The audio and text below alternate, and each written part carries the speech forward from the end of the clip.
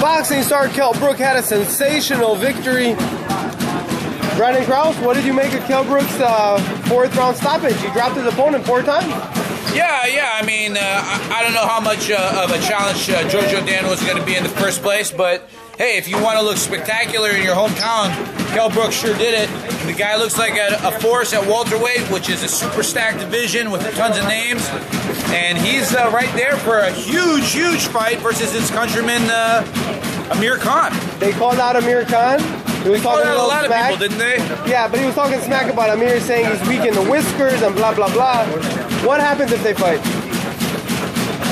I think Amir Khan would get, would get it, but uh, it would be competitive, and it wouldn't be shocked if Kell Brook were to win. And geez, Kell Brook looking yoked, by the way. What about Kell Brook, Shawn Porter? Uh, rematch.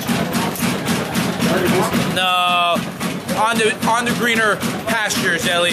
Okay, Kell Brook, Maidana.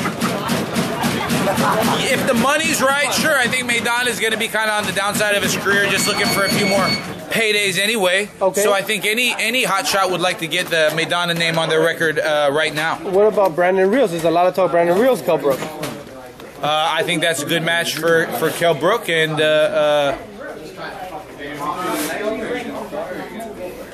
uh yeah, uh, isn't that your dad? That's my old man. that would be great. He you comes know, all the way here to see if the does Kell Brook want to come to, to uh, Los Angeles to fight? Does Does Brandon Rios want to go to England to fight? You know, but I think how, how do you pass up Kell Brook and Amir Khan? What nothing is more attractive for those two guys. Amir Khan said right now he's interested in a pack of the Mayweather's. Kell Brook will get his chance, but down the line, not right now.